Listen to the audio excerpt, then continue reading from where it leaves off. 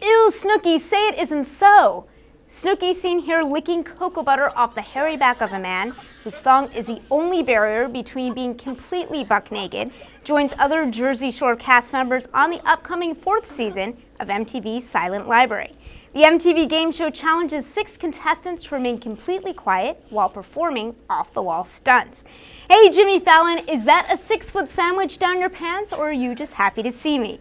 The late night talk show host and Roots drummer Questlove also make appearances on the Silent Library episode, which premieres March 25th.